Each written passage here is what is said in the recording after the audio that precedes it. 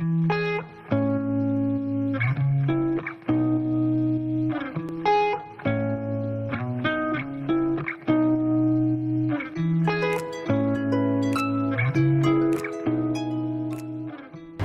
tal? Buenas tardes, este, seguidores de Contenedores Más.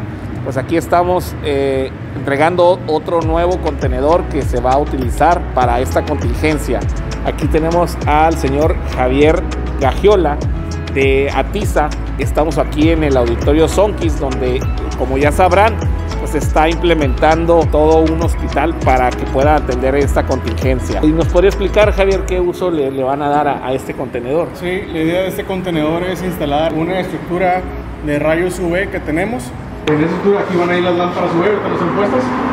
Van cuatro de este lado y cuatro del otro. Y aquí en la parte del centro, esto se desliza.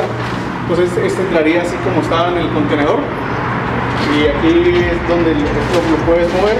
Y aquí es donde cuelgas las cosas que quieres sanitizar. Para hacer este, una sanitización de los equipos. Eh, llámese cubrebocas, botas, este, trajes, etcétera.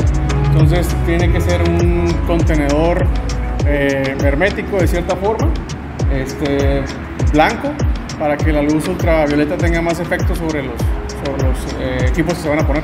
Órale, no, no, pues muy interesante. Pues igual también muchas gracias a ustedes por todo el apoyo que están dando también a la comunidad. Y pues así como nosotros, contenedores más, Sonkis, Atiza, estamos apoyando en estas contingencias, también lo pueden hacer ustedes. Gracias por seguirnos. Gracias.